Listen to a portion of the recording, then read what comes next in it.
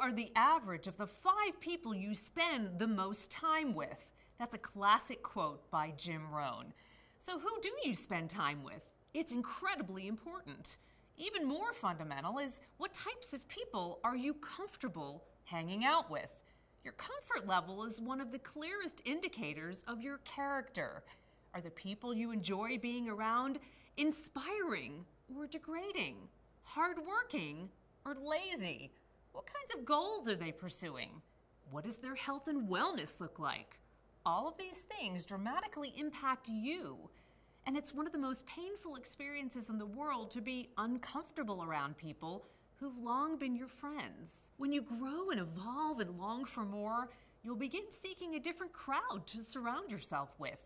You've heard that misery loves company. Well, don't let them hold you back. Move on, but never detach from the love you have for those people.